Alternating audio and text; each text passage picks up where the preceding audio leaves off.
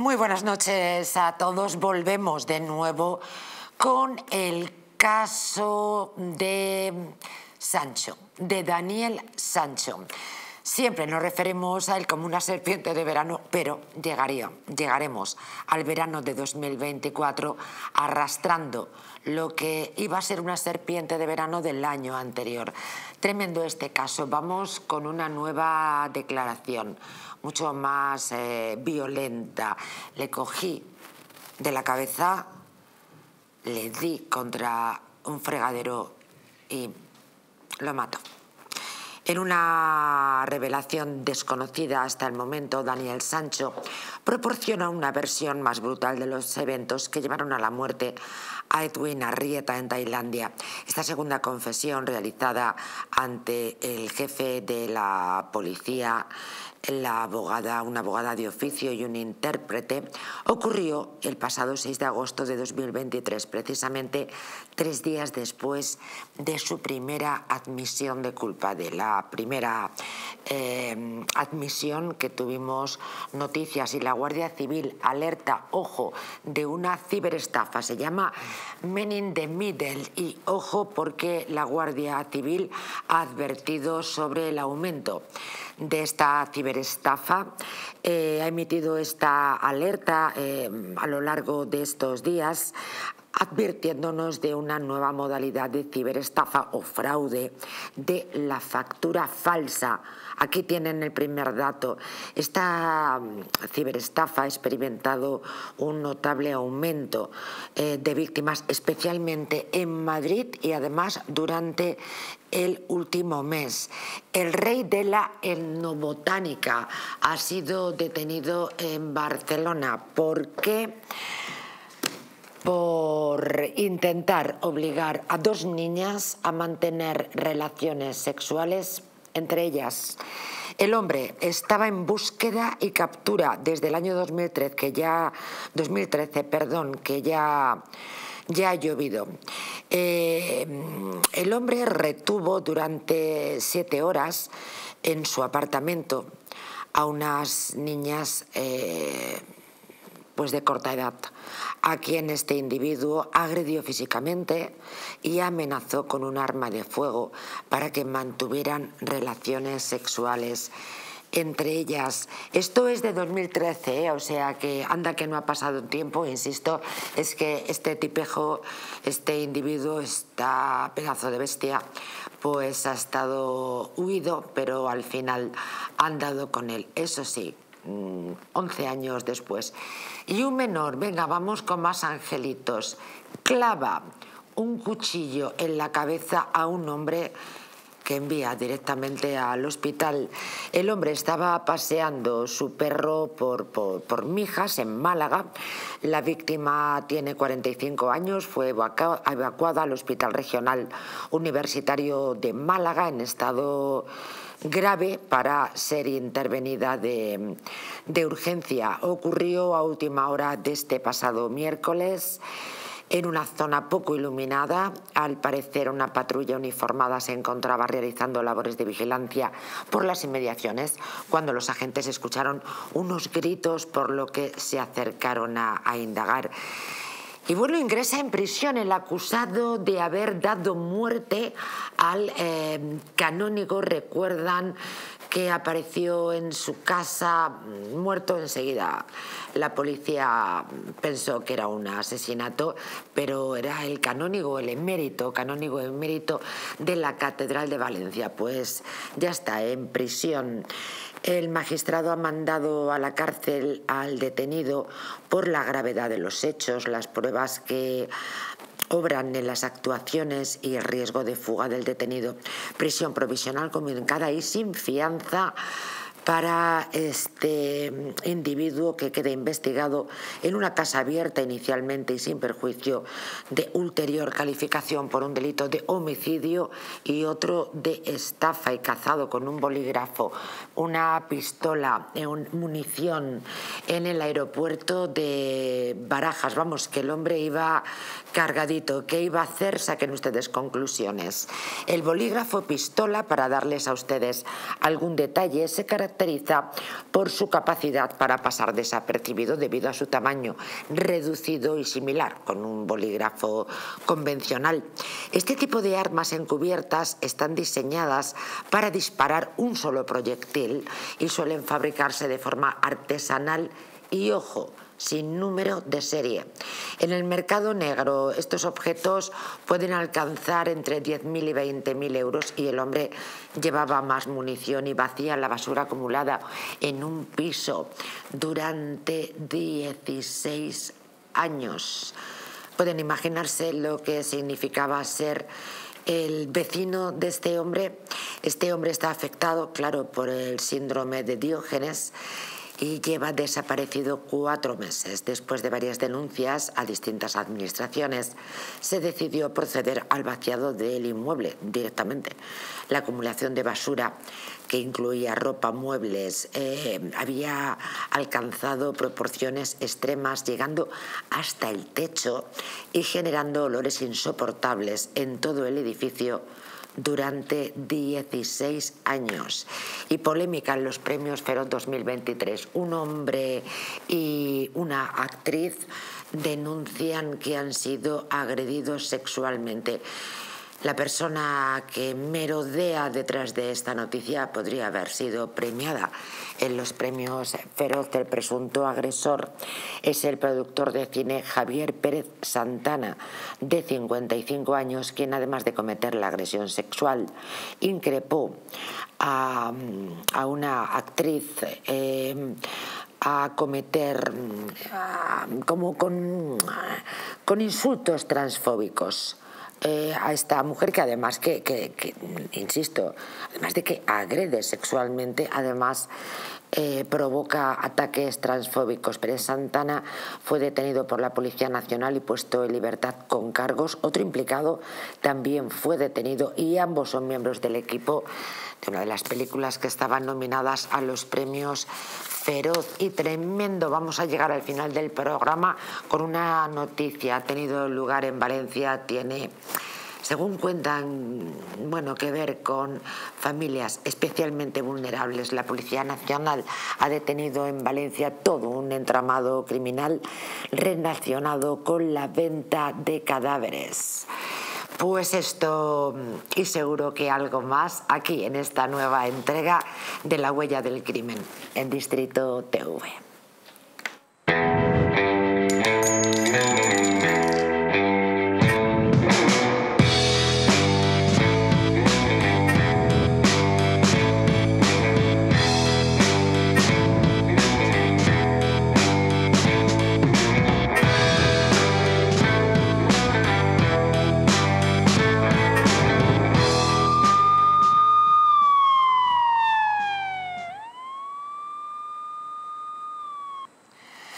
Bienvenidos a todos a este nuevo programa de La Huella del Crimen que hoy viene, como ven, cargaditos en lo cuantitativo y en lo cualitativo, insisto. ¿Cómo pueden pasar tantos sucesos? ¿Cómo pueden suceder tantos sucesos en esta España nuestra. Bueno, hoy traemos un tema que tiene que ver con Bucarest porque uno de los detenidos ha tenido lugar en aquella ciudad. Sin embargo, el resto ya saben que fundamentalmente nos ocupamos de la crónica negra en España y nos sorprende la cantidad de delitos que se cometen. Pero ¿qué le voy a decir a Miguel Sánchez? Policía, ¿cómo estás? Hola, buenas tardes, noches. Em, ¿La policía es consciente de que se puede hacer un programa de entre siete y ocho sucesos diarios para televisión con los delitos que se cometen? Yo creo que daría para más, pero va a ser mucha tela que cortar en un programa tan corto. Pero bueno, vamos a intentarlo. Hombre, una hora y media. Vamos, a intentarlo. una hora y media es un programa muy considerable, ¿eh, Miguel? pero entre publicidad y demás vamos Queremos a quedarnos más. corto. Queremos más. Pues nada, vamos a escribir una, una carta a la dirección, a ver si nos concede más tiempo. Eh, Pepe Bonet, ¿cómo estás? Muy buenas noches. Muy buenas noches. Bienvenido. A, a todos, bien hallados. Es un placer compartir mesa y noticias con personas como vosotros. Gracias, y, igualmente. Y por supuesto con aquellos que nos ven más allá del plato a la través de razón sus de, nuestra existencia, ¿verdad? Todos los que comparten este tiempo con nosotros desde el otro lado de la televisión o de cualquier dispositivo móvil, insisto, la razón de este programa y naturalmente la razón de este canal. Él es abogado, como saben, del eh, despacho Trillo Figueroa y Bonet Abogados y tenemos a Manuel Bernández, también abogado. Dos abogados, un policía y un buen número de expertos que entrarán a lo largo del programa. Vamos a comenzar, si os parece, con el inicio. Yo ya sé que mm, el tema de Daniel Sancho no es para tomárselo a broma, pero al final es que ya no sé muy bien qué pensar sobre esta, sobre esta situación. Eh, decíamos que pocas noticias iba a haber más, pero sin embargo parece que OK Diario había llegado a un sumario eh, em, y había podido comprobar que había tenido esa declaración que es de primeros días del mes de agosto, después eso sí, de declarar la primera vez. Y de pronto, pues como les decía, en esta ocasión Daniel Sancho ha revelado eh, que mm, proporciona una versión mucho más brutal de los eventos que llevaron a la muerte a Edwin Arrieta en Tailandia en aquel verano, supongo que para olvidar. Bien, pues esta segunda confesión que vamos a analizar hoy eh, ocurrió el 6 de agosto de 2023, tres días después de su primera admisión a culpa. Eh, la confesión en esta ocasión se hizo delante del jefe de la policía, delante de un eh, abogado eh, y delante de oficio y delante de un intérprete. Miguel, ¿cómo analizas esta versión que de momento no nos habían dado? Ahí estaba y ha visto la luz en estos días. Mira, yo te voy a comentar una cosa. No es que dude de esa eh, nueva declaración, pero también me extraña un poquito porque la declaración supongo que estará hecha o en tailandés o en, o en inglés. ¿La han traducido? ¿Quién la ha traducido? ¿Eh? No lo sé. Lo que sí que parece cierto... y Había, eso sí que- había un intérprete. Sí, pero, pero lo que sí que parece cierto ya no es la manifestación esta, que tampoco difiere mucho de la anterior. ¿eh? Lo único que dice que le da, eh, le golpea contra una esquina en lugar de que es un puñetazo para zafarse de él.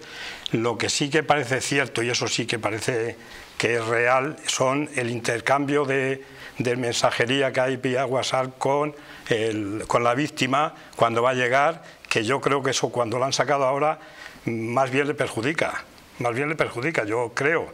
Los abogados están haciendo mucho hincapié que ha sido por una agresión previa de, la víctima, una agresión sexual, y yo creo que esto de alguna manera lo, desvirtúa, porque da la sensación que había buen, había buen feeling entre ellos, ¿no? Dice, oye, que te has, que te has perdido, que no sé qué, jaja, que, te, que te vas a ir solo por ahí.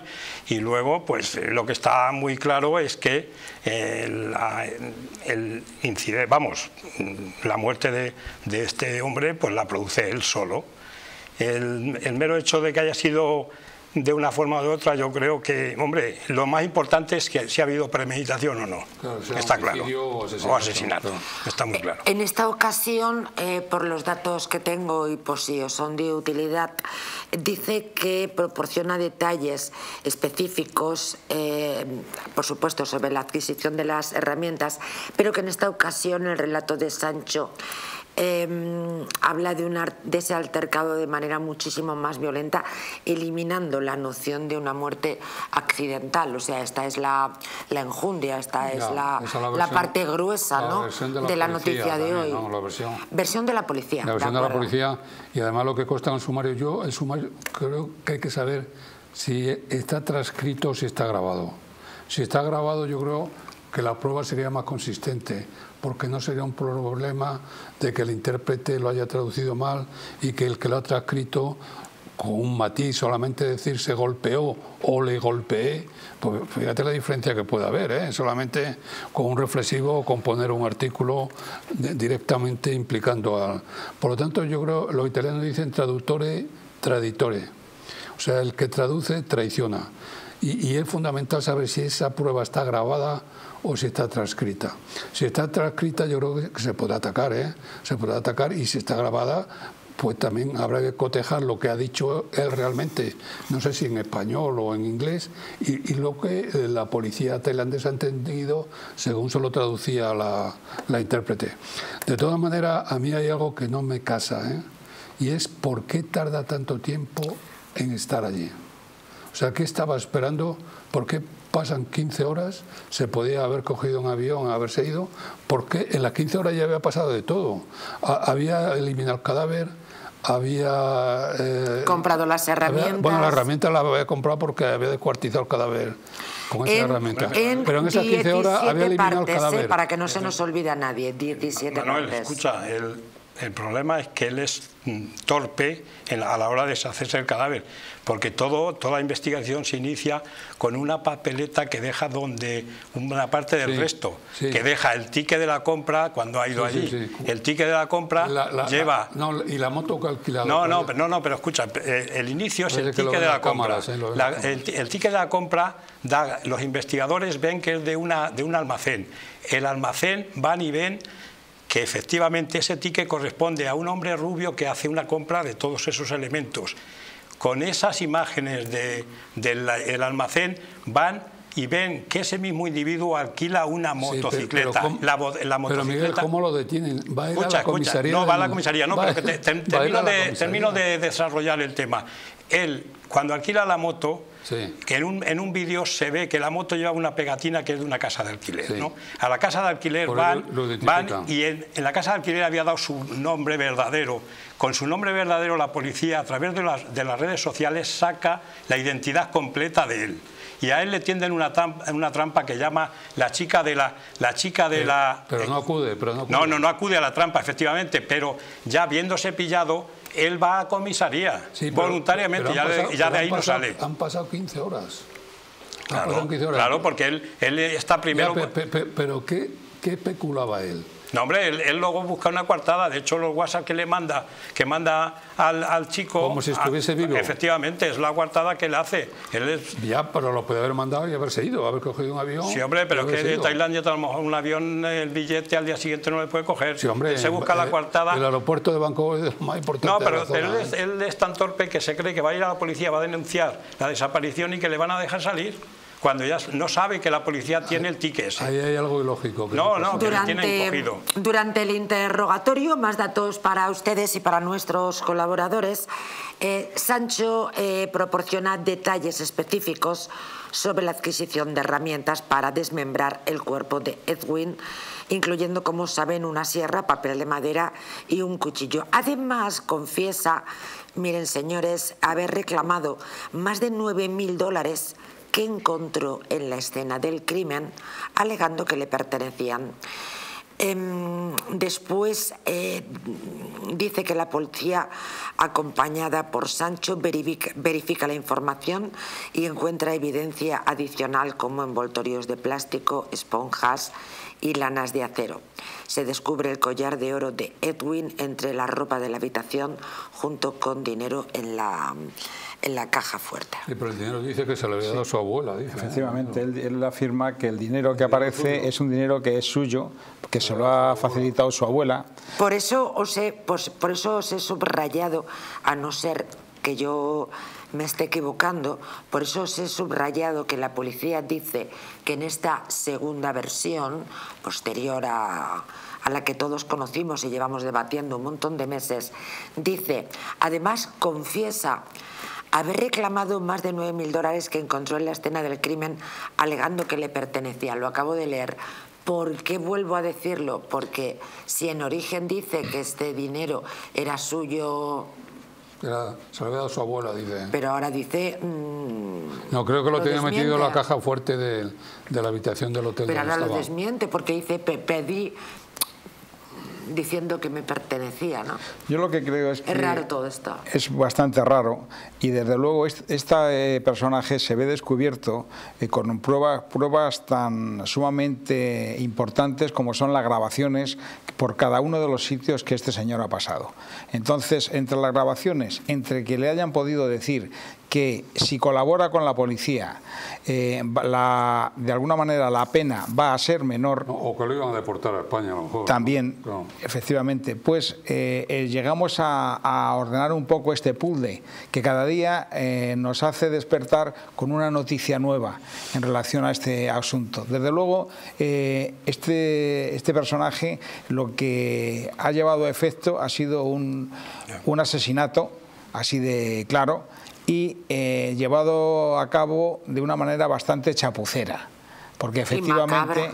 Sí, sí, por supuesto, macabra por supuesto, pero él ha tenido ocasión de poder ausentarse del lugar y dificultar un poco la- esa cuestión. Lo que ocurre es que este ha sido, eh, ha sido una persona fría, una persona que ha llevado a cabo, después del asesinato, el desmembramiento en esas 17 partes. Es que hay que... Hay Que las va distribuyendo. por supuesto, y, y en varios días, ¿eh? Y en varios días. No, no, no ha Entonces, podido pasar mucho. En varios días no, El- creo. No, no, no, no. no. Ha tenido que ser muy rápido. ¿eh? Pienso que no, ¿eh? Ha tenido que ser rapidísimo. Mira, si En un él- par de días. Si él en, el, en la playa no deja el ticket de compra de los aparatos, no le pillan. Y menos ¿Cómo en Tailandia. No? porque esa es la pista que, sa- que sale. Él, él va, denuncia, porque ten en cuenta que el cadáver, si no es por el ticket y no dan con él, ha, ha sido a la inversa. Él anda con el autor antes con la, que con la identificación del cadáver. Que hubiera quedado un cadáver ahí sin identificar y no le pillan, te lo digo. Que era lo que pensaba Daniel Sancho que iba a pasar. Claro, efectivamente. Él, si no deja el ticket en la, La playa. en la playa, yo no quiero, yo como policía, lo que muchas veces me dicen, oye, das pistas a los delincuentes, pero hay que ser más cuidadosos con ese detalle. Es mucho más difícil, porque el tío se le hubiera salido de rositas, ¿eh? porque el- eh, hubiera quedado allí un cadáver sin identificar y posiblemente hubieran tardado mucho tiempo en relacionarle y hubiera, hubiera podido venirse. Yo lo que no sé, en este caso También es raro, concretamente... Miguel, lo del ticket, ¿eh? No, hombre, es que se No, lo deja. Raro. Hombre, lo del- O sea, También es raro que el ticket esté en el cadáver y que luego por el ticket... porque muy tonto no era este de- muchacho, Un ¿no? ticket de venta sí, que puede identificar la casa... Fallan, los delincuentes fallan donde menos te lo pienses. Donde menos te lo pienses. Es un poco extraño, ¿Eh? No, no, no, no. Eh, Escucha, que Suena casi a fallan. prue- a, prueba... Pero hombre, que, que yo ¿no? creo que ahí, Sí, sí. que ¿Que ahí la policía? Nadie lo hubiera dejado o sí. Pero a quién se le ocurre sí. dejar un ticket y a con quién tan- se le ocurre con tantas eh, señas de que escucha, te y a quién se le ocurre a Bretón dejar allí los huesecitos de los niños Efectivamente. en lugar de coger una escoba con un cogedor Y llevárselo y llevárselo como tiró el resto de los cadáveres Exactamente. los delincuentes esto no es ciencia exacta fallan donde menos te lo piensen él deja el ticket allí y es del hilo donde tiran lo que yo no sé si los abogados actuales ahora están haciendo bien con un enfrentamiento total con la policía de allí ¿eh? Porque Bueno, ya, ya lo tiene perdido todo. Si Yo no- creo que si- sí. Si no luchan, está perdido. Sí, hombre, pero a lo mejor el enfrentamiento ahí que están teniendo con ellos, diciendo que han... Tienen que ir a destruir las pruebas. que efectivamente, ¿eh? pero el mero hecho de Yo que creo cuando... la- la duda está si compró realmente todo ese Sí, material efectivamente. antes, o después. No, no, lo compra antes. Lo compra antes. Lo compra pues, antes. no, que- pero digo que Lo son los antes. hechos trascendentes. Y luego si fue un accidente o si fue un asesinato. La Efectivamente, con- la intención o con la intención. Es que la da la sensación, yo lo que se, se me escapa en este caso, que con eso estoy de acuerdo con vosotros, es que mm, realmente no veo el motivo. El móvil, el móvil, ¿qué móvil tenía? Es un poco yo- absurdo. Raro. Es un poco absurdo. No, no, el único móvil una es que sea un tío, un tío que se le va la olla. Una pelea- que parece ser que se le había ido en Una alguna ocasión aquí. Porque fuera, fuera violento Una él y tuvieran una relación, esa- una discusión de pareja Sí. con una copa de más. Sí, sí. Sí, Claro. podía ser, Sí, sí. efectivamente, o que se, o se hubieran puesto de alguna otra Una cosa. relación amorosa que acaba trágicamente y que ya veréis cómo eh, la sentencia que va a ser bastante dura, ¿eh? yo no me atrevo a- ahora mismo todavía a calificarla, la que va a ser, porque no soy, no tengo esas capacidades, pero eh, desde luego al final acabará solicitando la ayuda y la intervención de la propia Casa Real Española para evitar lo que se le viene encima, que en la mente de todos está claro, porque estamos hablando de Tailandia. Carlos García Barret, muy buenas noches. Hola, buenas noches, ¿qué tal? Un saludo a Hola, todos. muy buenas noches. Pues, ¿Qué tal? pues verdaderamente cuanto más hablamos de este caso, Carlos, cuantos más datos damos, eh, la verdad es que más preguntas tenemos y más extraño parece mm, este caso. Estoy con un policía, con dos abogados y verdaderamente es tremendo. Permíteme que justamente lo iba a hacer recordar, como decía Miguel, que los mensajes enviados desde el móvil de Sancho 12 horas después de la muerte de Edwin revelan efectivamente ese intento por parte del cocinero español de fabricar una disculpa. Es decir, habían pasado 12 horas de esta barbaridad y es cuando empieza a mandar a rumacos a, a Edwin Arrieta. Pues eh, conocer tu opinión sobre esta declaración, sobre qué te parece este caso. Aquí ya se empieza a dudar hasta si, si verdadera no sería otra persona quien dejara el ticket en la playa, motivo por el que, como bien dice Miguel Sánchez, fue descubierto este individuo. A ver, aquí desde primera hora eh, se sabe que la policía actúa de una manera totalmente diferente a los cuerpos de seguridad del Estado que tenemos nosotros. Eh, se ve que evidentemente para lo que nosotros puede ser una negligencia en la actuación, eh, sobre todo a la hora de, captar la información del detenido, que supuestamente eh, se hace de forma amistosa, luego evidentemente no tiene ni pie ni cabeza que se lo lleven a un restaurante, que le den de cenar, que tengan un trato amigable para sacar la información y luego, evidentemente, pues hay muchas cosas que más que se podrían comentar sobre, sobre cuál es la actuación de los abogados, que en el momento creo que es un poco sin sentido, ¿no? Pero bueno, ahí, aunque discrepemos, evidentemente me entiendo que tendrán alguna alguna base. Uno de los asuntos, Carlos, más importantes, bueno, que, que, yo voy a rescatar de mm, estos minutos en los que hemos estado charlando sobre este asunto es plantearse si la policía podría estar mintiendo. Bueno, la policía está, creo, evidentemente, que está empleando sus métodos, que allí son totalmente diferentes a estos. Eh, lo que sí estoy viendo desde primera hora es que supuestamente la instrucción policial tiene sus grietas si estuviéramos comparando con lo que se hace aquí en España. Evidentemente, el interrogatorio que se hace o la reconstrucción que se hace en varias ocasiones eh, también se ve un trato amistoso, se ve como le dejan hacer prácticamente lo que él quiera. Eh, bueno, le quitan sus esposas, que también es una práctica, evidentemente. Y luego, pues, eh, a la hora de recrear, supuestamente él está haciéndolo por su propio beneficio a la hora de que supuestamente no le caiga una condena, que es lo que, dicen, lo que están diciendo sus abogados, ¿no? Que en este caso, García Montes dice que que él no entendía bien el inglés, que evidentemente lo que le preguntaron quizá no fuese lo que, lo que tendría que haber dicho y que en sede policial no es lo mismo que en sede judicial. Carlos, ¿tú crees que podría estar grabado? Creo que era Manuel Bernaldez, ¿verdad?, quien comentaba, porque estamos dando vueltas efectivamente a, a, que hay piezas que no casan y efectivamente, ¿no?, el papel de la policía en esta declaración. Y Manuel decía, claro, si hubiera cámaras, aquí saldríamos todos de dudas.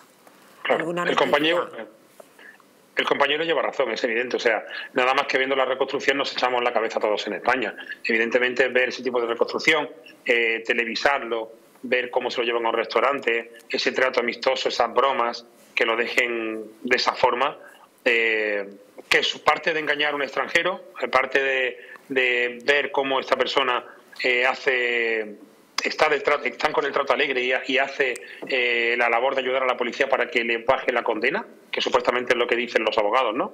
Que, en este caso, pues eh, siendo un poco más amigable con él, quizá pues él también se preste y en este caso pues le vayan a reducir la condena.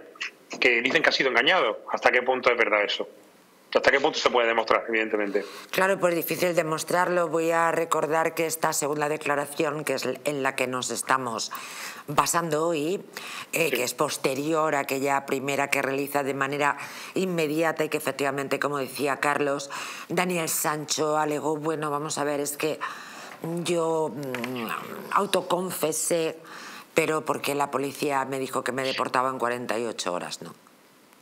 Pero también te digo una cosa, partimos de la base de que este, este chaval es un asesino, o sea, no podemos blanquear su imagen. Desde primera hora se ha, blanqueado su imagen en los platos de televisión, diciendo que tal cual. Al final aquí lo que se está mirando es que se quiere que se rebaje la condena y que lo traigan a España para que acabe de cumplirla. Pero estamos hablando de un asesino.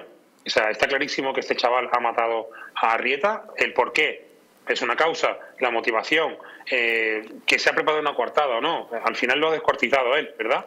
Al final supuestamente lo ha matado él que, es un asesinato, es un homicidio, es un accidente. En definitiva, al final eh, se, ha deshecho, se, ha deshecho, del cadáver y al mismo tiempo lo ha descuartizado. Entonces, no le veo mayor recorrido a esto. Evidentemente luchamos por la condena, que sea mayor o menor, pero no podemos, no podemos olvidar eso. Y no lo olvidaremos, Carlos García Barret. Muchísimas gracias, como siempre, por tu participación. Buenas noches. Gracias, un saludo. Sí, Miguel. No, quería decir que ahora cuando estamos diciendo que la policía o diciendo que la ha engañado, no es que la haya engañado, es que la policía en los interrogatorios, es una cosa lícita ofrecerle, si hay una confesión, pues decir luego, eh, por lo menos en España, oye, si confiesas, si colaboras, pues el fiscal, hablamos con el fiscal, te va a tratar mejor.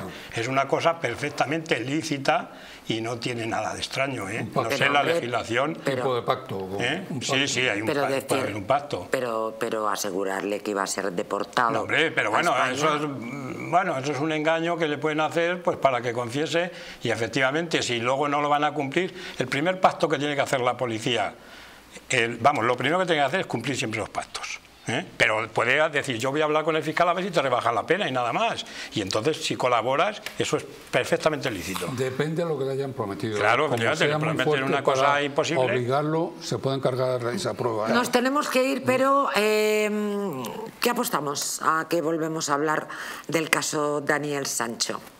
Se lo aseguro. Colacel Antiox, porque todo el mundo quiere estar sano, todo el mundo tiene, quiere tener buen aspecto y todo el mundo quiere conservar la juventud cuanto más tiempo mejor.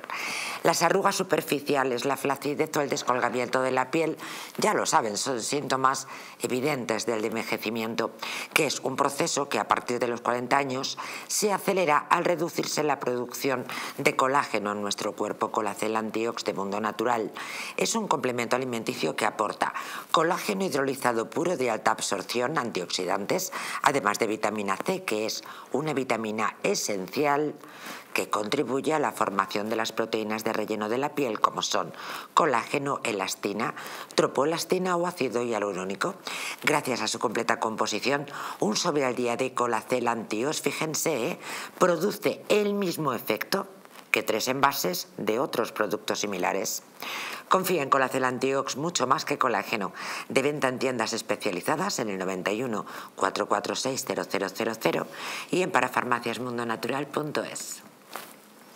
Un alto en el camino, pero ni se muevan, porque esto es simplemente el arranque del programa.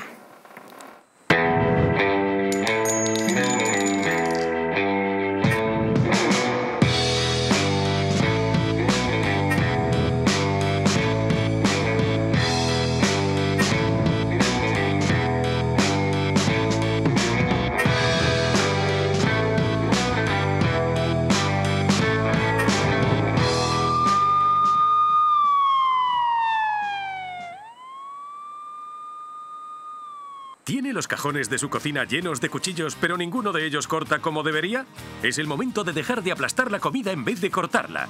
Y esto se debe a que muchos afiladores no afilan realmente, sino que destruyen la hoja. Le presentamos Bavarian Edge, el revolucionario afilador que cuenta con dos brazos elásticos independientes para afilar cualquier cuchillo en tan solo unos segundos. Si le gusta cocinar con cuchillos afilados, entonces necesita el Bavarian Edge. La diferencia con otros afiladores está en sus dos brazos elásticos independientes, fabricados con una aleación de tungsteno y carbono que se adaptan a cualquier tipo de cuchilla para conseguir siempre un afilado perfecto, siendo el único afilador capaz de afilar cuchillos de sierra. Hemos destrozado este cuchillo intentando cortar este bloque de hormigón, pero solo son necesarias unas pasadas entre los brazos elásticos de Bavarian Edge y volverá a estar tan afilado que podrá cortar un zapato sin ningún problema. Sus cuchillos volverán a cortar, a hacer filetes, picar, trocear y hacer dados con la misma facilidad que lo hacían el día que los estrenó. Este filete congelado está tan duro como una piedra, por lo que con un cuchillo para untar mantequilla no podemos cortarlo. Pero solo necesitamos unas pasadas por Bavarian Edge y estará tan afilado que podrá cortar este filete como un cuchillo caliente entra por la mantequilla. Bavarian Edge lo afila todo. Hemos cogido la tarjeta de crédito y hemos intentado cortar el tomate, una misión imposible. A continuación pasamos unas cuantas veces la tarjeta por nuestro Bavarian Edge Ahora está tan afilada como una cuchilla, por eso corta fácilmente. La diferencia con otros afiladores está en sus dos brazos elásticos independientes, fabricados con una aleación de tungsteno y carbono, que se adaptan a cualquier tipo de cuchilla para conseguir siempre un afilado perfecto, siendo el único afilador capaz de afilar cuchillos de sierra. Otros afiladores de cuchillos podrán costarle más de 100 euros, pero si llaman ahora, Bavarian Edge puede ser suyo por el magnífico precio que aparece en pantalla. Además, si llama en los próximos 5 minutos, podrá conseguir su segundo Bavarian Edge a mitad de precio. Pero dense prisa porque esto no es todo. Las primeras 300 personas en hacer su pedido no tendrán que pagar los gastos de envío. No pierda más tiempo y llame ya. ¿Una noche larga de fiesta con los amigos? Has terminado cansado y con una copa de más. Ahora en exclusiva en Naturhaus, Staff Detox. El remedio que acaba con esas resacas eternas del día siguiente. Acércate a tu tienda más cercana o visita naturhaus.es. ¿Quieres proteger tu sistema inmunitario de la gripe, COVID y otras enfermedades? Inmunad Z es un complemento elaborado con zinc y base de vitaminas C1, B6 y D3 que permiten aumentar las defensas y mejorar las respuestas del sistema inmunitario. Además, posee antioxidantes que reducen el envejecimiento y mejoran el estado de ánimo. Con Inmunad Z, las defensas al poder. Acércate a tu tienda más cercana o visita la web naturhaus.es.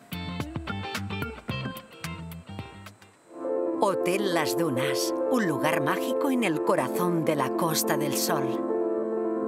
En primera línea de mar, situado en un oasis de armonía, tranquilidad, enfocado en la salud y bienestar de nuestros huéspedes. Desconecta del estrés y la monotonía del día a día. Estancias con programas exclusivos y personalizados de salud, rejuvenecimiento y control del peso elegancia y bienestar junto al mar sin renunciar a la actividad y la vida saludable. Descubre las Dunas Hotel Health and Spa, el más exclusivo de toda la Costa del Sol.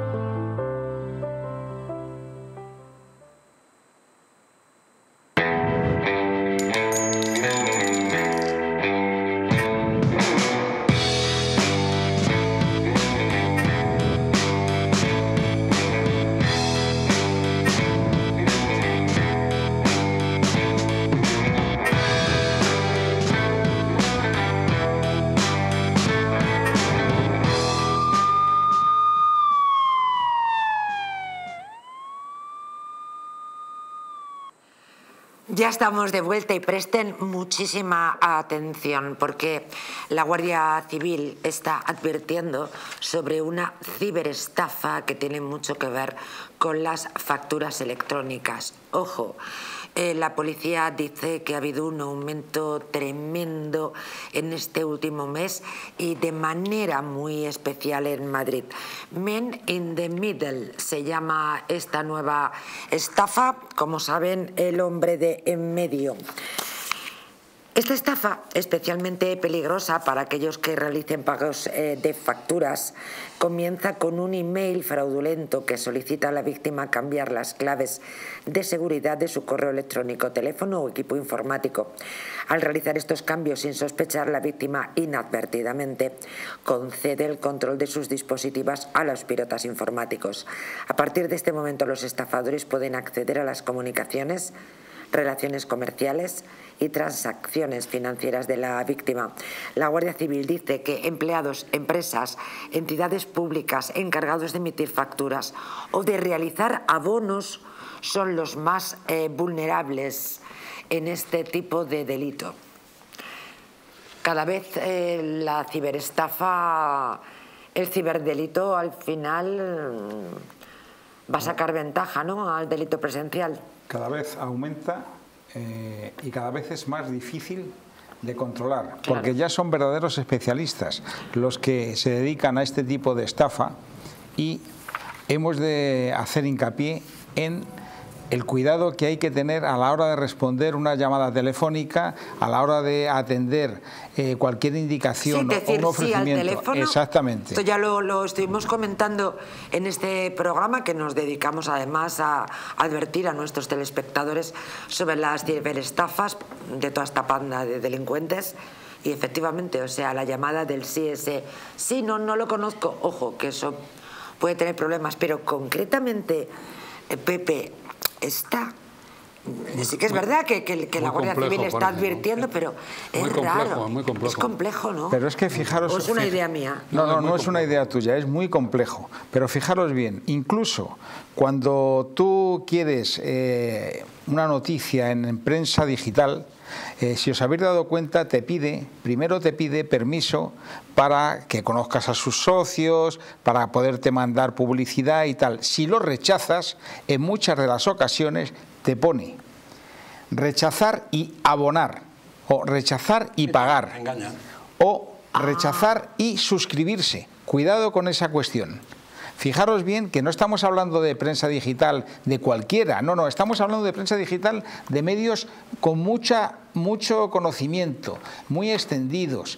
Fíjense por, una, por pura curiosidad en, esa, en ese aspecto y verán cómo te completamente te o pasas por el aro de decirles que eh, les permites eh, que te manden publicidad, que les permites sí, que, sí, que tomen tus datos personales para ser utilizados de manera comercial, que es lo que piden. ¿no? Esta es una estafa que es, es, una modalidad, pero vamos, en esta es que consiguen de alguna manera las cuentas de correo. Mira, te lo, te lo explico sencillamente. Consiguen piratear la cuenta de, de correo y entonces lo que hacen es interceptan, interceptan las facturas ¿Qué hacen? Que luego a empresas y a organismos oficiales. Sí, sí, hacen? lo están diciendo. Efectivamente, a empresas y organismos oficiales. ¿Qué hacen? Que luego lo que es otro delito más, que es la falsificación de facturas. Falsifican las facturas esas que en un principio eran reales, se las mandan pero Miguel, en, los... en esos ámbitos el control es mayor. Sí, pero el control es mayor. Yo pero... dudo que un pagador en una empresa, si le llega una factura que no la esté controlada, la pague porque la, la pague y le cambian el número de cuenta, es difícil de pensar, pero, pero como se lo hacen a mucha gente, alguno cae. Esta estafa que está dedicada a los consumidores y en pequeñas cantidades para que sean más La Guardia y en cambio está dedicado a empresas, a empresas, lo cual es muy raro. Es no es raro, es raro, pero en las empresas hay muchísimos Y las empresas, pican, es un problema. Claro que pican. Es que está hablando de entidades de, públicas. De entidades públicas y empresas, porque es hay pero gente pero que... es una falta de diligencia increíble. Claro, porque no comprueban el número, lo que hacen en definitiva es cambiar el número de cuenta y el dinero va a, la cuenta que ya, pero, dice. pero el pagador, una empresa claro, o un pero hay que tener la diligencia de vida que no la tienen. Un control mínimo. Y si es un organismo esta sustitución fraudulenta permite que el dinero de los abonos terminen en las manos de quién? De los delincuentes. Normalmente, pues la víctima se va a enterar de todo esto cuando eh, la persona a la que le ha hecho el abono, pues le dice, hombre, que no me ha llegado. las estafas ahora, por, por, estos métodos, yo creo que con Pepe Bonet que está diciendo esto, yo hace pocos días dije que yo tenía un método con mi mujer para que, de alguna manera, aunque yo fuera el que la, pidiera el número de cuenta, que aunque fuera yo y mi voz, que no se lo diera, que podíamos tener una clave, decir, oye, mira, pregúntame lo que he comido de primero, de segundo y qué he tomado de postre, porque si no, aunque sea yo, sea mi voz, no me lo des, porque ya son capaces de interceptar el teléfono ¿eh? y, y saben todas las preguntas y saben, que haber. Entonces, todas, eh, eh, esto tenemos que tenerlo en cuenta. Entonces, ahora mismo con la inteligencia artificial estas, estas estafas van a ir a más. Pero aquí estamos hablando de ¿eh? empresas y organismos, y organismos, y organismos públicos. Y organismos públicos. la falta de diligencia es escandalosa. Es que es más fácil engañar muchas veces a un organismo público y a una empresa que a un particular que, a un, a un que tiene mucho menos dinero y, y, dice, oye, voy a mirar mejor mis cuentas. Hay gente ya, pero, que no tiene la diligencia. Pero una factura de cierto importe no la pagas realmente porque te manden por WhatsApp. ¿Pero qué por, piensa, por la Guardia Civil sabe lo que no, dice. Claro. ¿Qué piensa? Y la Guardia Civil ha mandado estas alertas a los bancos. que, nosotros pero, compartimos. Que es, es, es, para cortar el pescuezo al tesorero de la claro, empresa. ¿qué, ¿qué sea, piensas? Que no, a, a, las empresas, al Violencia, tesorero, que no, no Manuel. a los apoderados de los bancos. Claro, puede pedirlo, claro. No, que es lo que decías tú el otro día, que no son más listos que el particular. Bueno, no. tengan muchísimo ojo, especialmente si usted es empleado de empresas o de entidades públicas encargadas de emitir facturas o realizar abonos, porque, insisto, la Guardia Civil ha dado estos datos fundamentalmente peligroso para estos colectivos. Madrid fundamentalmente y desde el mes pasado creo que está mm, pues subiendo el número como, como la espuma. Nos vamos a ir a Barcelona porque allí han detenido al rey de la etnobotánica. Este individuo obligaba a niñas a mantener relación sexual entre ellas. Eric, muy buenas noches. Eric Encinas. Buenas noches, María José y los contertulios. Bueno, que vaya caso más tremendo el de este, eh, el de este individuo. Háblanos un poco de, háblanos un poco de, él, que creo que estuvo mm, en busca y captura, ¿no? Efectivamente, llevaba en busca y captura desde, desde el año, claro, de nada más y nada menos que desde el año 2013 y además lo que llama mucho la atención de este, de este caso ¿no? es eh, cómo consiguió en 2021 también una identidad falsa para poder hacer vida normal en España e incluso regularizar su situación administrativa y, y, apañárselas, ¿no? Y buscando trabajos y, por lo tanto, mientras permanecía esa orden de busca y captura desde el año 2013 por orden de Rumanía, y la, que era una orden que ya estaba bueno, de búsqueda internacional y ha sido un operativo de, de la red ENFAS eh, que, que, se encarga de buscar a, a, peligrosos delincuentes, como en este caso, que además eh, a, las a las niñas que, que secuestró y obligó a tener relaciones lésbicas, porque obligó a que no solo se besaran, ¿no? sino tuvieran una relación completa en Bucarest. En, en, un, en un piso y además se lo presenció, incluso participó y además y les amenazó con una pistola de fuego, es decir, era un tipo... Incluso hubo algún tipo de... Discúlpame, Eric, incluso creo, eh, pero te, te, te, consulto a ti, hubo algún tipo de, de, agresión violenta con las muchachas. Claro, correcto. Sí, sí, les atacó también, es decir, que era un tipo violento que aunque sabía aquí, en cierta manera, había estado camuflado ¿no? de las autoridades, pese a tener esa orden internacional de búsqueda y captura, pues ha sido definitivamente capturado por la policía nacional en la provincia de Barcelona ahora hace pocos días y ya pues, está en manos de la justicia. Tenía una orden desde el año 2013 por parte de ese, de ese operativo eh, de, Rumanía también policial y por lo tanto ha sido, ha sido una operación eh, policial internacional de, de, un operativo europeo y porque tenía una, una orden internacional de busca de busca de captura. Además, eh, también estaba involucrado en el tráfico de drogas o de, cannabis, porque este hombre... En 2021, si no estoy equivocada, este hombre cumplió prisión, cosa que Eric, la verdad, no soy capaz de hacer el puzzle. Este individuo, esta bestia, está en busca y captura porque ha, ha, tomado a dos criaturas, les obliga a mantener relaciones lésbicas, las agrede sexualmente, y cumple pena en 2021 en España por tráfico de, espérate, cuatro kilos de, de hachís, sí, creo. no lo entiendo. Perdone, sí, resulta, no lo entiendo. Resulta, resulta sí, en este y caso... en busca y captura desde 2013. Correcto, en este caso lo que te estoy comentando, pasan cuestiones que evidentemente yo creo que demuestran por lo menos algunos fallos porque evidentemente de llama la atención, ¿no? También no solo eso, sino que además eso, ¿no? Que haya conseguido, que, que hubiera conseguido una identidad falsa y que también haya estado, que no se le haya podido juzgar eh, por esos delitos hasta ahora, ¿no? Por esos delitos de, de, abusos a menores de edad, además, porque ya no es solo que abusó de unas chicas mayores de edad, no, no, es que eran menores es de edad. Eran menores y además de edad, les. Y además Sí, sí. Y huido eh, en busca y captura, voy a volver a repetirlo para que no quede ninguna duda, desde el año 2013. Correcto, Pero correcto. en 2021 cumple eh, condena en España por tráfico de drogas. ¿Ustedes lo entienden? Yo no. Sí, sí, incomprensible entenderlo. No lo total. Como siempre, Eric, muchísimas gracias por ayudarnos a entender un poco mejor estas circunstancias que suceden a la vera del Mediterráneo, que también cosa- pasan cosas muy bonitas, ¿eh? Así es, también, también. Muchísimas- aquí te espero, ¿eh? Por cierto, aquí ya haremos un encuentro. Un abrazo. Sí, sí, ten- tenemos que movernos por España con, con el programa. Un abrazo. Un abrazo. Gracias. Hoy estamos reivindicativos. Vamos a pasar a dirección todas las peticiones con las que hemos empezado. Más horario, tremendo. Estamos imparables. Bueno, señores, no lo entiendo. Vamos, yo a mí esto se me puede explicar. Yo tampoco, pero Se lo yo pregunto creo a la que, policía, además, pero ¿eh? que no es, yo creo que no estamos dando en el clavo. esa condena que decís por el tráfico es en su país también, porque él... No, habla, en España. No, no, no, Él le llevaba en España 12 años viviendo con una identidad falsa.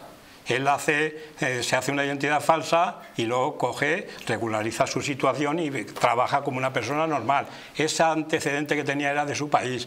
Incluso tampoco era de extrañar que hubiera sido detenido aquí con otra identidad y hubiera cumplido condena mínima y no haberse dado cuenta de, de lo que tenía anteriormente eh, de hace 15 años, 11, 12 años, ¿eh? porque una persona la reseñan con otro nombre, no tiene antecedentes aquí y su ficha policial es con el nombre supuesto que ha dado. Pero no lo puede identificar por las huellas. Es que huellas? La huella las huellas digitales. las huellas, un tema de Interpol, del año 13. Pero si es que las niñas de tener ya, las niñas se habrán jubilado ya, vamos. No, no, pero que las, los antecedentes eran de su país, no eran de aquí. Bueno, pero ¿qué ha pasado? Pero bueno, me da igual, estamos en Europa, señores. Pero si no han detenido aquí. Ya, pero ha pasado, 11 años, un delito que se comete en Bucarest, lo detienen aquí y se habla que entre media ha estado detenido en el año 21. No, no, no, no. En el año 2009, el detenido de Barcelona estaba acusado de distribuir más de 4 kilos de, una variedad de cannabis. Pero por lo que en 2021, disculpadme, por favor, fue condenado a una pena de 5 años y 4 meses de prisión. En España, se habla lo he dicho desde el principio. Eso es donde yo no puedo entenderlo. Es que es lógico que no lo entiendas porque parece mentira que en una Europa del siglo XXI todavía estemos en esas condiciones, porque hay, un, hay, hay lo que se llama la Europol, que debería estar coordinada perfectamente para que una persona que se mueve por Europa y que ha cometido un delito en su país estuviera buscado por todos los países europeos y sobre todo que hubiera un intercambio de cuáles son las huellas de este señor por si acaso se cambia de nombre, por si acaso eh, obtiene una documentación que no le pertenece. vale, os compro que haya sido detenido aquí en España, ¿vale? en el 21. Pero es que da igual, como si es no, detenido... No, escucha, no, no porque si él está en busca y captura, cuando viene aquí, está limpio está limpio, no hay huellas en ningún sitio para comparar. Pero Él viene aquí, pero el, delito le comete aquí, le condenan a cinco años por tráfico de estupefacientes. Y no el antecedente que tenga el Interpol. pero el antecedente de allí no lo han detenido. Vámonos que pero tenemos, que no lo, han detenido allí. Tenemos mucha ¿No ves que está en busca y captura que allí no lo han detenido por el delito grave? Señores, por favor, en cualquier caso, esto que sirva, no podemos dar muchas más explicaciones, saquen ustedes sus propias conclusiones, pero vamos, que menuda Europa del siglo XXI, ¿eh? menuda Europa. Vamos con un angelito, vamos con otro menor. Un individuo le clava un cuchillo en la cabeza, se dice un hombre, pero yo he leído en otras noticias una mujer, eh, le clava el cuchillo en la cabeza, en cualquier caso a un hombre, a una mujer, que va paseando con su perro. El angelito creo que tiene 16 años, pero se lo voy a confirmar inmediatamente. Ha sucedido en, en, Málaga. La víctima tiene 45 años y fue evacuada al hospital regional. Ocurrió a última hora de este pasado miércoles. Eh, al parecer una patrulla uniformada se encontraba realizando labores de vigilancia por las inmediaciones cuando, gracias al señor, los agentes escucharon unos gritos, por lo que se acercaron a indagar. Y sí, sí, no me he equivocado en absoluto. El angelito tiene 16 años. ¿Qué podemos aportar por aquí? no sabemos qué es lo que pasó, ¿eh? porque estaba paseando el perro por una zona muy oscura de las afueras de Mijas, eh, a una hora ya casi la noche, ¿eh? y de pronto la policía se encuentra que están peleando el chaval este que tiene 16 años y con la víctima de 45 años. No sabemos realmente qué es lo que sucedió ahí. ¿eh? O sea, pensar de que el niño, el chaval pasaba por allí y le clavó el cuchillo de una manera eh, para saltarlo, no, sabemos. hay muy pocos datos. Es posible también que pueda haber otro tipo de delito, no tenemos ni idea de lo que ha podido pasar. Desde luego, si los hay, no ha trascendido hasta media hora antes de empezar el programa. Sea lo que fuere, eh, no se puede agredir a una persona por la razón eh, que sea de este modo eh, que este, este joven... No, no tenemos ni idea. Hombre, eh, lo que es evidente. ¿Tú mantienes es que... el hombre de 45 años eh, estaba buscando Gresca o había no sé qué buscaba, algún eh, pero tipo de es que es muy raro. desencuentro? Es muy raro, es muy raro. ¿eh? o sea, tú mantienes que se conocía. Es ilegal. No, no, no, que se conocía. Es ilegal que, que el joven llevara, llevara un cuchillo. Eso ya de, de entrada ya es ilegal. ¿Qué hace un chaval de 16 años paseando por Mijas con un cuchillo en la mano? Hombre, pues toda la teoría aquí de Manuel, lo Es mismo que no era el de él. cuchillo lo puede llevar el Claro, adulto, que sabemos, que no tengo ni idea. Sin, sin lo saber, ha cogido peleando, no tengo ni idea. sin saber exactamente las circunstancias tampoco es fácil no opinar ahora. especular, Lo ¿eh? que sí que es verdad es que si el menor llevaba el cuchillo, pues no debe de llevar un cuchillo y menos por, en esas circunstancias. Pero- No se sabe si pudo haber un conflicto, un conflicto previo, como bien lo está comentando Manuel Bernández. De momento no, no se sabe, pero ojo, cuando el río suena agua lleva. Hombre, cuando les tomen declaración a uno y a otro, Se sabrá. se que- sabrá y que- ya está, sin más. No hay, a lo mejor fue una discusión por el perro. O, O puede ser que lo ha saltado por algo, o para robarlo. No, no Qué tremendo. Eh, les he contado de verdad que ya han atrapado al asesino del canónigo emérito de eh, la Catedral de Valencia. Recuerdan, ¿verdad? La semana pasada les hablábamos de mm, esta circunstancia, tampoco había muchos datos. Ahora ya tenemos tenemos más datos que compartir con todos ustedes, pero los vamos, lo vamos a hacer a la vuelta de este alto en el camino aquí en Distrito Televisión con muy buenas sugerencias para todos ustedes. Pero la primera, antes de irnos se la voy a dar yo. Eh, les voy a recordar primero que hay que beber con muchísima moderación, pero también les voy a recordar que esto es España, que de vez en cuando hay una fiesta y que a quién no le ha pasado. Pues de pronto un vinito, una cervecita, una copita, ay señor. Estás de fiesta, estás con los amigos, estás con la pareja, estás con la familia. Bueno, pues no pasa nada. Siempre y cuando haya conciencia en, esa, en esas copitas, no pasa nada. ¿Por qué? Pues porque llega la solución, llega Staff Detox. Así que si tienes una noche larga de fiesta con familia, con amigos, si has terminado cansado y con alguna copa de más, pues ya sabes que puedes saltarte por encima la resaca. Staff Detox es el remedio que acaba con esas resacas eternas del día siguiente. Ya saben que mm, Staff Detox es un producto en exclusiva de Naturhaus. Para más información visita tu centro más cercano o visítanos en naturhaus.es. Ni se muevan, nos queda la recta final del programa y esto va a ser un tío vivo, ya verán.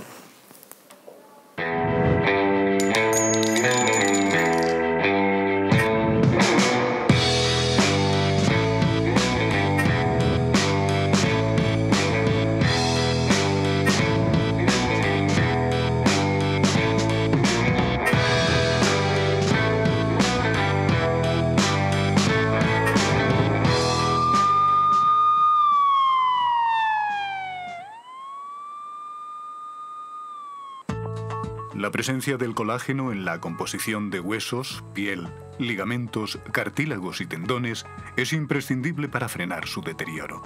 Sin embargo, a medida que envejecemos, su producción se reduce. Colacel Antiox de Mundo Natural combina en una misma toma colágeno hidrolizado puro, antioxidantes, ácido hialurónico y vitamina C que contribuye a la formación normal de colágeno. Haz del tiempo tu gran aliado. Colacel Antiox. ¿Una noche larga de fiesta con los amigos? ¿Has terminado cansado y con una copa de más? Ahora en exclusiva en Naturhaus, Staff Detox. El remedio que acaba con esas resacas eternas del día siguiente. Acércate a tu tienda más cercana o visita naturhaus.es. Naturhaus es el mejor método para perder peso de forma saludable y sin pasar hambre. Desde la primera visita, una asesora te enseñará a cambiar tus hábitos hasta alcanzar tu peso perfecto. Lo conseguirás gracias a complementos alimenticios a base de extractos naturales y platos deliciosos. Apúntate ya en tu centro Naturhaus más cercano y online a través de naturhaus.es. Naturhaus 30 años de experiencia en nutrición y dietética. ¿Tiene el armario lleno de ropa y por mucho que lo intenta nunca está ordenado? ¿Le cuesta encontrar sus prendas favoritas cuando más las necesita? Tenemos la solución. Les presentamos Space Triangles, un revolucionario dispositivo especialmente diseñado para ser colgado en las perchas y liberar hasta el 70% del espacio de su armario en tan solo unos segundos. Space Triangles están fabricados con materiales muy resistentes para que se puedan colgar varios de ellos verticalmente junto con sus prendas, consiguiendo así que el ahorro de espacio sea aún mayor. Miren, su espacio puede pasar de estar hecho un desastre a tener un aspecto maravilloso en muy poco tiempo y presten atención a todo el espacio que hemos ganado.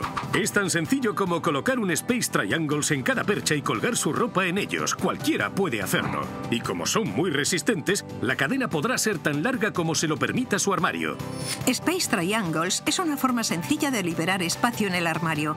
En solo unos minutos cambié su aspecto por completo. Ahora puedo ir de compras otra vez. Además, pueden usarlos en cualquier percha, sin importar si son de plástico, de madera, de metal, incluso las de terciopelo.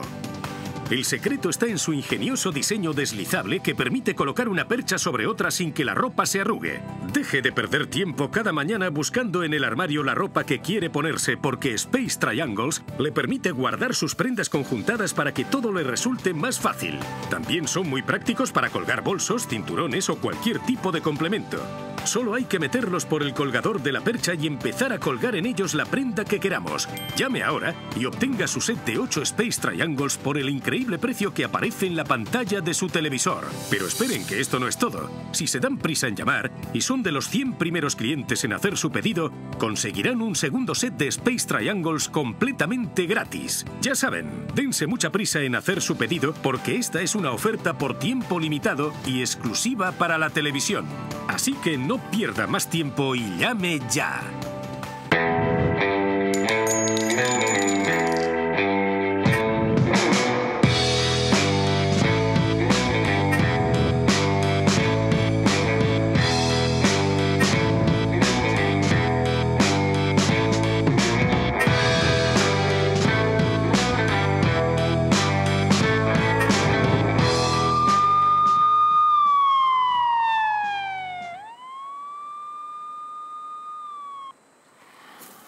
Pues le tenía ganas Miguel Sánchez al siguiente tema que vamos a compartir con todos ustedes y que yo les apuntaba antes de hacer este altito en el camino. Y es eh, la detención de un individuo que al parecer la policía cree, ahora vamos a darle más datos, por supuesto, cree que es el asesino del clérigo que apareció eh, sin vida en su casa la pasada semana.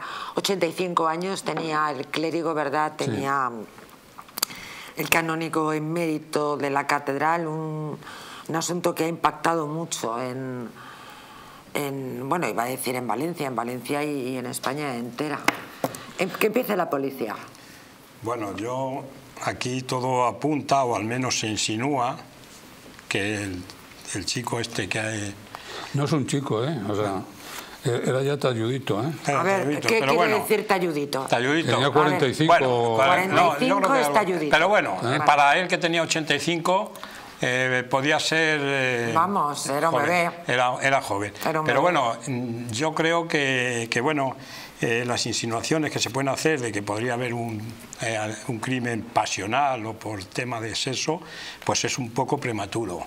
¿Por qué? Porque en cuanto tenemos aquí, efectivamente, la Iglesia Católica aquí es muy fácil atacarla y es... Es la moda, es la moda. La moda y a darle, a darle. Hay que esperar. Se dan casos, por supuesto que se dan casos de este tipo, pero no son tantos, ¿eh? No, y, no son tantos. Lo que se dice, Miguel, es que este hombre se No sabemos nada de él, ¿verdad? Pues yo estoy buscando sí, información. Sí, tiene 45, 45 Sí, sí, esto también lo sé, pero más eh, datos sobre... Creo, que era un sudamericano, me parece, ¿no? Sí, pero estaba viviendo, estaba viviendo con él, y, y, además utilizó la, roba el móvil, la lleva, la, tarjeta. Sí, yo, creo, yo creo que es un robo, es un robo... Este hombre se movía en medio de marginados estaba entre eh, eh, drogadictos, gente que necesitaba ayuda. No olvidemos que también Jesucristo se movía entre los publicanos, los pecadores, Y, y, Magdalena era, una, prostituta. Por supuesto, pero... Y, a mí esto me recuerda un poco a un caso famosísimo que hubo, que fue el cardenal de París, el cardenal Danielou, en el año 74. Este hombre que fue papable, un grandísimo teólogo, un jesuita eminente, casi una personalidad en Francia, este hombre murió en un prostíbulo. Y, eh, eh, eh, y yo siempre pienso que esto es un ejemplo de la caridad peligrosa, como la novela de de Stefan Zweig, La piedad peligrosa, aquí habría que hablar de la caridad peligrosa. Es gente que se dedica a ayudar a los demás y este hombre, entre los medios que se movía, el caso del cardenal, que era un ambiente de marginados, de, gente necesitada, incluso entre las prostitutas, murió en un prostíbulo de un infarto que le pegó entrando en un prostíbulo. Pero entonces, ¿entraba como cliente o entraba como eh, La, autopsia reveló que le había dado un infarto y, y la fulana declaró que la estaba ayudando porque tenía un problema económico con el marido que estaba en la cárcel y que ayudaba a las prostitutas, que ayudaba a todo el mundo. Pero la prensa progre lo machacó prácticamente, porque vino a decir, fíjate quién era Danielú, era un hombre que se paseaba con un clériman con unos calcetines rojos, que era el símbolo del cardenalato, y, murió en un prostíbulo, entrando en un prostíbulo que un infarto. Qué bien habla, ¿Ah? Manuel, qué bien habla. No, no, un, auténtico, un auténtico drama. Yo creo que ahí la verdad está,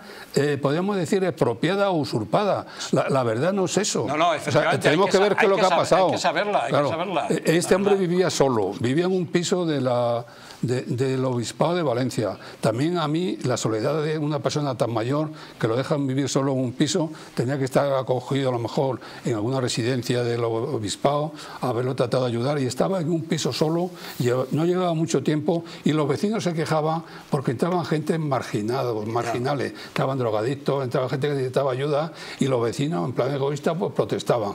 Y, y ahora ya se está hablando de relaciones sexuales con los jóvenes. Pero ¿qué pasa? ¿Que alguno estaba dentro cuando el sacerdote cometió esos actos. Pero ¿quién puede decir eso? Yo creo que estamos especulando con barbaridades. Sí, yo toda la razón. ¿eh? El detenido está en situación irregular. Estoy buscando información debajo de las piedras, pequeños detalles para intentar mm, poder aportar algún perfil de este individuo que no tenemos nacionalidad, parece ser, dice Manuel, que podría ser sudamericano. Sabemos en cualquier caso que está en una situación irregular yo creo que podemos atar cabos, ¿verdad? Sí, pero lo que dice Manuel tiene razón. puede, puede, puede, indicar algo, pero hay que tener la certeza para hacer esas insinuaciones. Cuando las tengamos, pues podemos hablar porque es muy fácil atacar a la Iglesia Católica. Yo, por mi parte también tengo que decir que estuve en el seminario muchos años y yo a mí jamás tuve ninguna insinuación, no tengo mala experiencia, fueron en el seminario menor y en el seminario mayor. Yo algunas veces he pensado, digo, eh, era un niño morenillo, a lo mejor conmigo no se metieron, pero he cogido a los rubios y altos y esbeltos y a compañeros míos y tampoco. O sea que, te doy la razón. que, se exagera mucho con respecto a eso. Cualquier entidad, cualquier eso no soportaría un escrutinio como le están haciendo a la Iglesia Católica. los, cuarteles mismos. Bueno, en cualquier, en cualquier caso, eh, estamos esperando más datos. Ha sido detenido. Eh, tú hablabas de robo, efectivamente, porque aquí se habla de homicidio y de estafa. Lo ha podido asaltar, Vamos a esperar ¿eh? más datos. Además, este se movía entre una clientela, también era un sacerdote, no se dedicaba a visitar a los ricos, trataba de ayudar a los más necesitados, a los pobres. Sí, estaba en contacto. Pues, insisto, el caso del cardenal Daniel de París fue paradigmático, ¿eh? un, inmenso teólogo. ¿eh?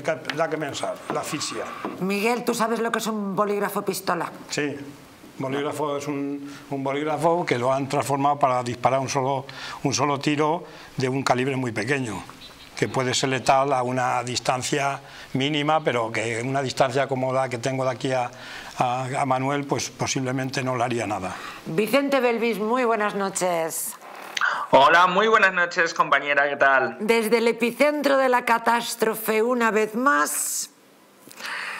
sí, sí, desde, Tremendo, desde Valencia. Tremendo, tremendo. No sé si tienes eh, algún algún dato más sobre.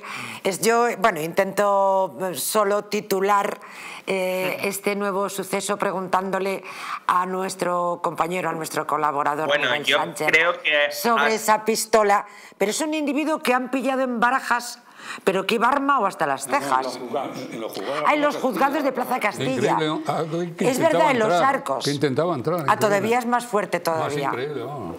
Es más fuerte, cierto. Sí, sí, perdona, Vicente, que me he liado yo. Ah, que de pronto me he traído la noticia Vamos a, ver. a, eh, Madrid. Eh, y es una noticia que sucede en Barcelona y en unos juzgados. Me he liado yo. Bueno, yo te, estaba hablando de, la noticia que estabas dando del sacerdote asesinado. Ah, perdona, perdona. Claro, claro, claro, es que válido. esto es el directo, la maravilla, la frescura, el poder, la magia de la televisión. Son cosas que pasan en directo. Claro, además me estaba diciendo el equipo, tiene muchos datos de este, de este caso y tal, entonces me he ido ya con el siguiente. Vamos a ver. Vamos con, el, con el canónigo.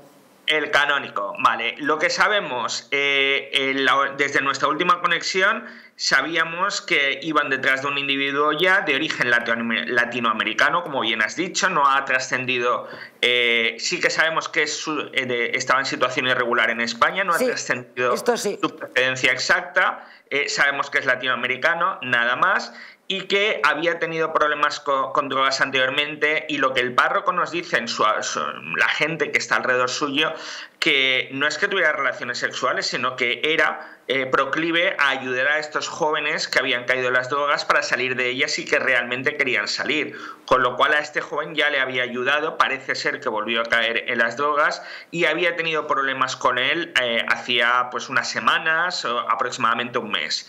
Eh, o sea, se habían visto Claro, vamos a ver, este hombre ya había, además había estado en un, en un piso en la, alrededores de la ciudad de Valencia que tenía el propio canónico, eh, que se lo había prestado para eh, intentar evitar la ciudad de Valencia, evitar las drogas intentar sanarse de alguna manera. Con lo cual, podemos decir que es una persona de las que le gustaba ayudar a gente joven a salir de estas dificultades. Sobre todo eran perfiles drogadictos, gente que quería una segunda oportunidad.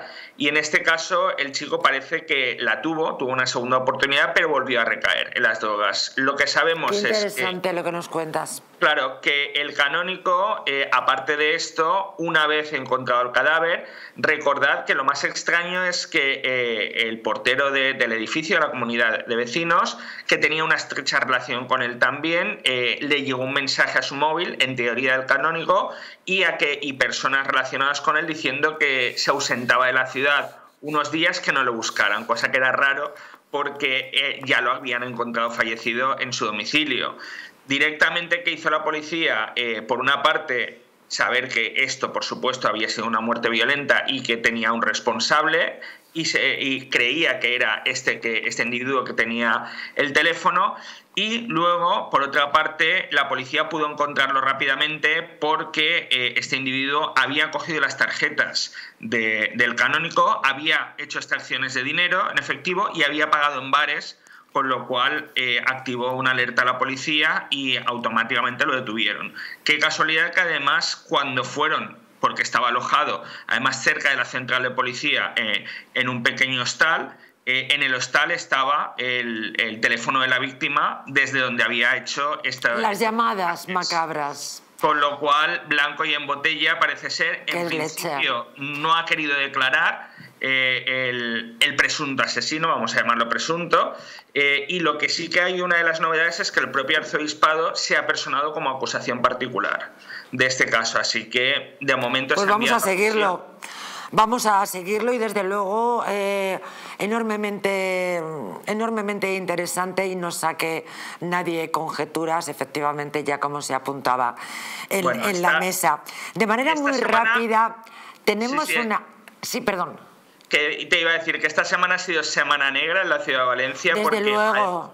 hoy nos sobresaltaba este caso que hemos sacado nosotros, en este caso noticiasciudadanas.com, en portada, eh, eh, la trama esta que la Policía Nacional ha descubierto de cadáveres en Valencia. Qué horror, cuéntanos por favor. ¿qué, sí, bueno, pues terrible.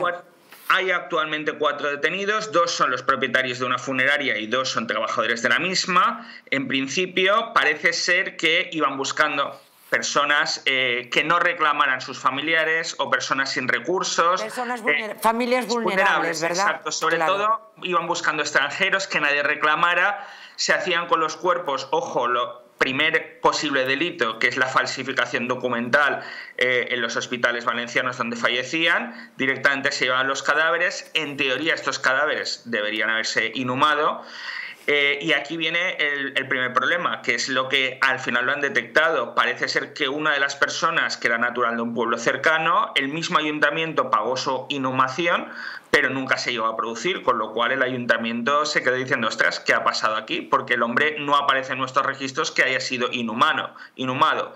¿Qué hacían estas personas? No solamente eh, eh, cobraban estos servicios a algunos ayuntamientos sin hacerse, sino con estos cadáveres se los vendían, en este caso a la Universidad de Valencia, para la investigación. Para eh, recordemos que los futuros médicos han de investigar muchas veces con cadáveres que normalmente son cedidos por personas, pues en este caso se los vendía por 1.200 euros hasta las universidades, en este caso la Universidad de Valencia, y la Universidad de Valencia además hay otro presunto delito, que es otra presunta estafa vamos a llamarlo presunto de momento, que es que una vez estos cadáveres utilizados por, ya sé que es macabro, pero esto es así, es la cura de realidad, utilizados por los estudiantes y desmembrados. Eh, en distintas partes, automáticamente la ley te dice que tienen que ser incinerados. Se enviaban a la incineración, pero eh, en este caso hay facturas por valor de, creo que son 8 o 10 incineraciones distintas a la Universidad de Valencia y se ha comprobado que, eh, que no corresponden con 10 o 12 incineraciones, sino solamente, incineraciones. Claro, solamente Las tengo delante, 11.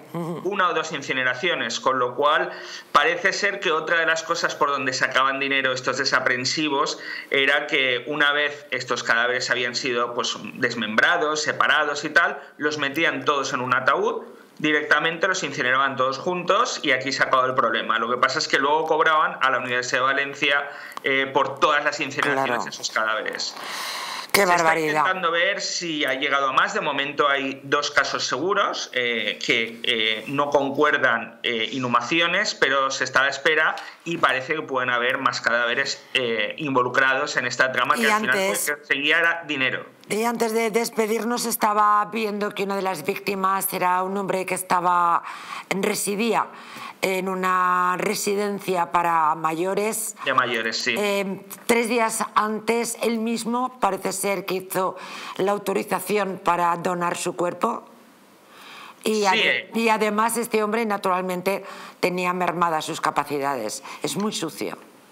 Sí, bueno, eh, la gran duda que nos suscita a todos los medios valencianos y a todos los medios nacionales es cómo es de fácil entrar a residencias de mayores, entrar a hospitales, conseguir estos cadáveres o conseguir, y conseguir saber quiénes no tienen familia, quiénes están desatendidos de alguna manera y traficar con, con, la muerte, qué, horror.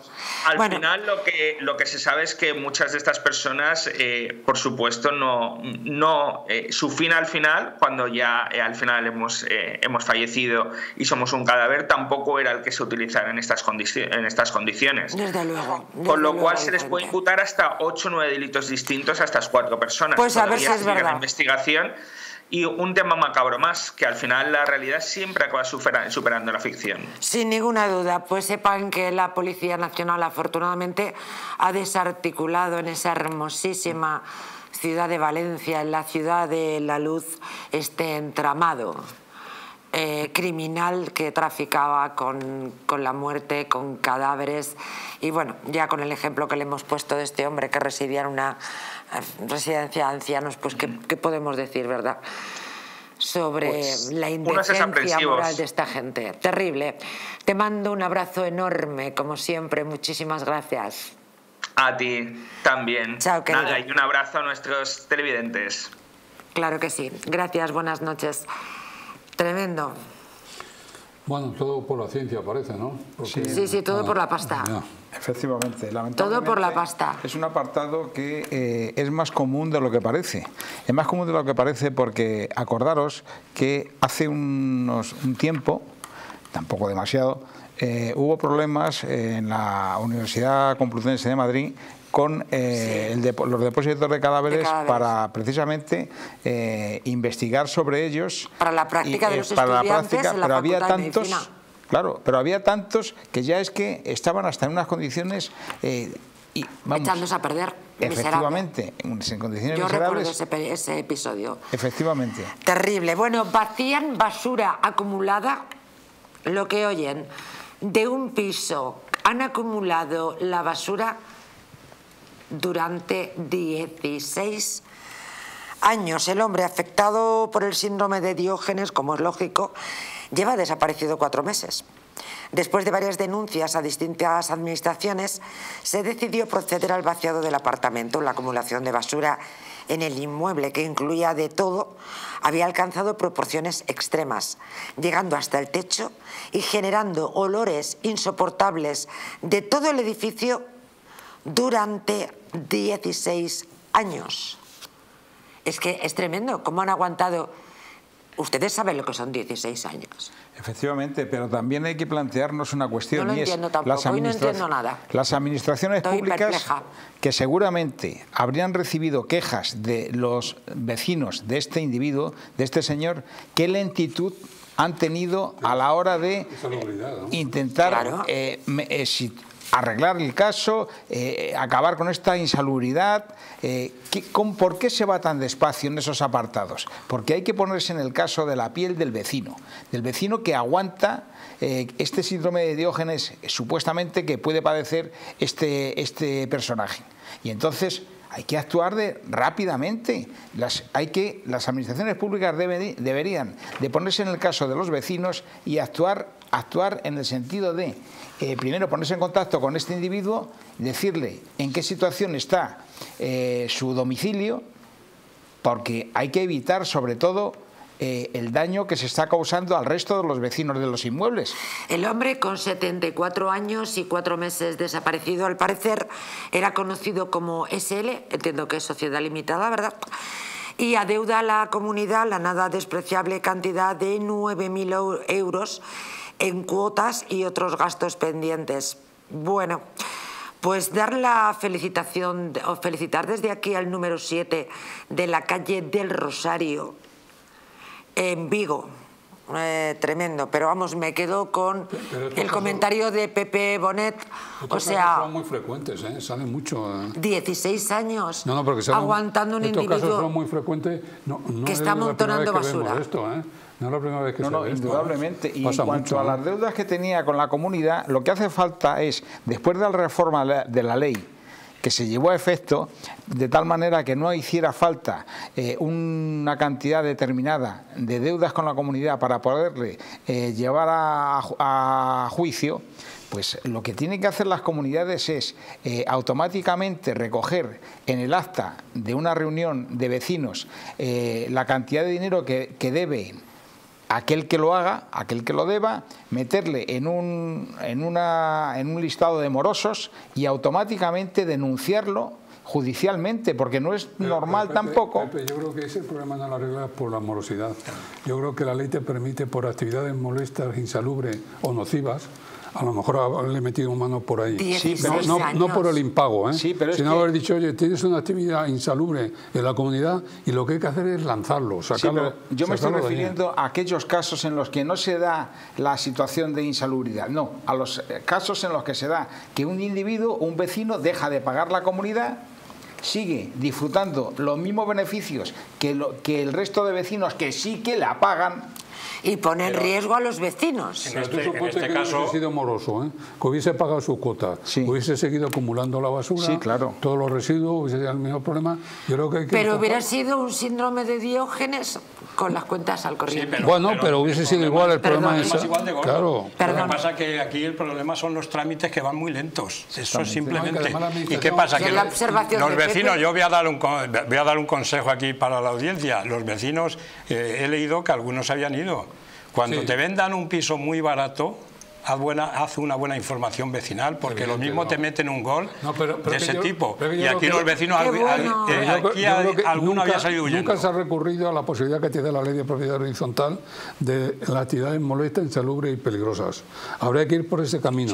Habría que, ir al juez y decir, Señores, antes de, antes de irnos, tremendo, la verdad es que este caso, pero vamos, insisto, que el número 7 de la calle Rosario de, Vigo, que, que, descansen tranquilos ya, ya se puede comprar ahí un piso. Ya se puede ya comprar un piso. ¿Y qué ha pasado? Polémica tenemos con los premios Feroz de Cine. Un hombre y una mujer han denunciado a un individuo y además eh, quien está merodeando por todo esto, pues da la casualidad que estaba entre los nominados. Miren, el presunto agresor es un productor de cine, se llama Javier Pérez Santana, tiene 52 años, 55, que le he quitado yo tres, contenta os habrá puesto.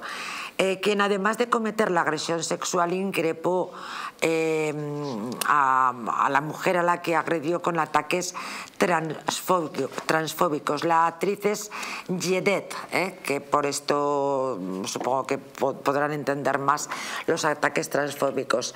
Este individuo fue detenido por la Policía Nacional, pero ha sido puesto en libertad con cargos, y otro implicado también fue detenido y ambos son miembros del equipo de una película nominada a los premios Feroz que finalmente no se ha pasado. Pues una, una situación más vergonzosa. Otro Michu.